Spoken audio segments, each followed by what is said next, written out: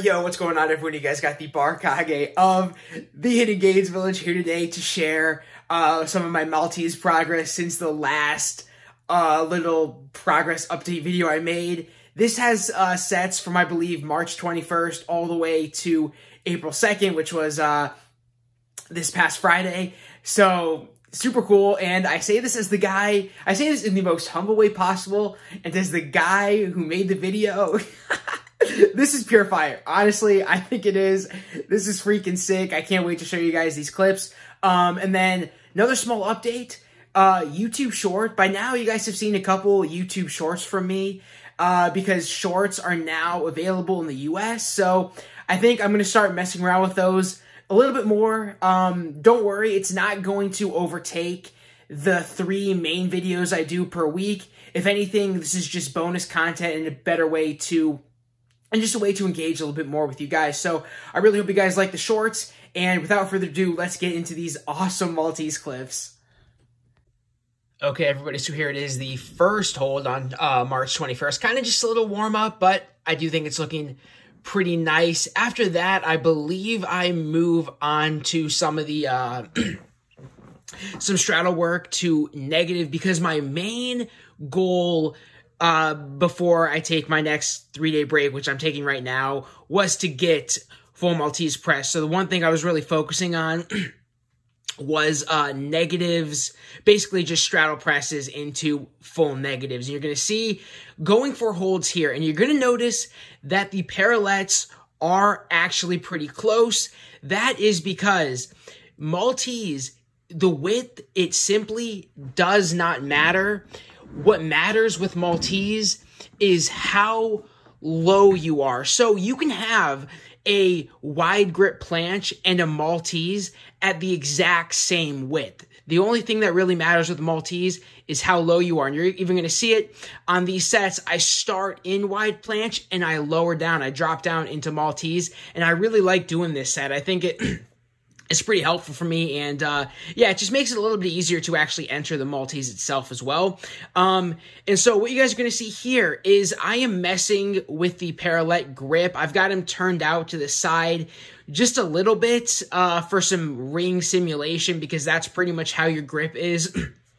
when you are on the rings. So, um, we are now moving into some stuff on the floor. On days where I feel really, really good, I'll go ahead and work floor and P bars. Now, I will say that on my floor Maltese, I really do need to work on getting it lower. Um, I understand I need to work on that.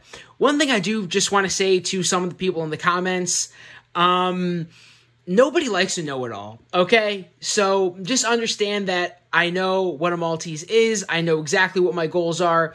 I know what I'm working towards. If I want help or advice, I will ask for it. Um, yeah, just nobody likes to know it all, and I think we can all understand that. So Moving on, we are on the 25th. I skipped the workout on the 23rd because you guys have actually seen that in the floor frustration part one video. That was the session that came from the 23rd. So, oh, and here I decided it'd be cool to get some different angles. for the Maltese. So we're starting out once again, kind of dropping into Maltese on these holds. And yeah, looks like I'm just going to town with the holds on this day, locking it in right there. Oh my God. nice. Yeah, sometimes looking back at these, I don't realize how good the session actually was. And then we've got a side view here. looks like I got a couple of them from the side. Just once again, yeah, I really like starting in wide planche and just leaning forward uh, so I can drop down into malt. And uh, yeah, I guess I'm on the floor on these days because it was feeling pretty good. Floor just it still needs a ton of work. Um, honestly, every time I do a floor set, it always looks a lot worse than I think it does. Like like when I'm doing these floor holds, I'm like, oh wow, that was such a good hold. It was long, good form. And then I look at it and I'm like, oh man, that really wasn't great. But regardless, I'm still pretty happy with how these uh, floor sets turned out on this day, especially after the parallel bar work. Um, and then we come in to March 27th, which is a pretty interesting day because it, it's after that session on the 25th, which was pretty good, but I still think I did manage to swing in a couple of good floor holds. Uh, once again, I do need to get a little bit lower, but for my purposes and what I'm doing, I gotta say it's really good. And um, a lot of people have actually been asking me, like, dude, when are you gonna start rings? Have you tried Maltese on rings? Can you Maltese on rings?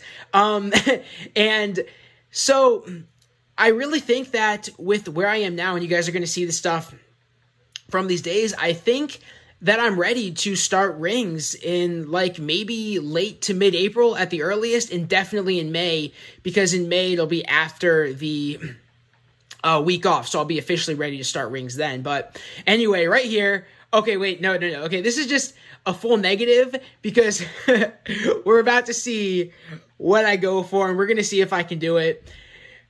We are lining up for a full Maltese press, what I've been chasing for so long. Can I do it? Up, up, up. Oh, man. Lower down. Let's control it. Let's go. Nice. Here we go. One wasn't enough for me. So I had to try it again. Zing. Let's go, baby. One thing I gotta say though, I gotta, um, next time I do these full Maltese presses, whenever I do them, I gotta just let it rip on the negatives because you guys see that I lower down so slowly on the negative that it's like I'm just screwing myself up when I actually get down there and hold it. So when I work full Maltese press again, I'm just simply going to lower down just as fast as I can and just try to hold it in the spot. I come back to the floor again because this day the 29th was like this was pretty much like the peak session as you guys can tell by the pressing um, and then, yes, we got a couple floor holds here. and uh, yeah, looking nice on the, on the floor hold. A lot better uh, than it has been. And then, okay, watch this. This is heat. All right, full planche press. One. Two. Three. Uh, four. All right, watch, watch, watch. To dead planche. Yeah, baby. then I'd fall. Like I, I think I think what I did, I tried to push it back up to planche, but no way was that happening. But that's crazy. Full Maltese press unlock. And then I'm just going to town on full planche presses, doing sets of four and then and then three. That is insanity. Um yeah, it's just crazy how, how far my planche has come since doing Maltese and not even really training planche at all. And then we come to April 2nd, and by now, this is the last day before the three days off, and by now I am just completely fried. So I'm trying to work on this set, full planche press to, well, it's supposed to be full planche press uh, to full Maltese negative, but I was just doing full planche press to straddle Maltese negative and uh, yeah, hopefully I'll be able to do the full set someday. But um, and then yeah, form on the planches definitely not looking great. But you got to understand, guys, on this day I was shot and randomly try floor full Maltese press. Somehow muscle it out a little bit, but uh, form was pretty bad at the beginning and range of motion was pretty bad. But honestly, the fact that I was able to do that when I was completely fried, uh, I gotta say, pretty excited about that, and uh, I'm ready to try full Maltese press uh, within the next month, and uh, hopefully I'll be able to do full Maltese press on the floor. And final set of the video, we are just going to try a full Maltese hold on the floor, not looking super good, just fall, hit the ground, and that is pretty much it. Okay, everybody, so that is the little uh, Maltese uh, post-com session. Uh, so yeah, super happy about the those sets.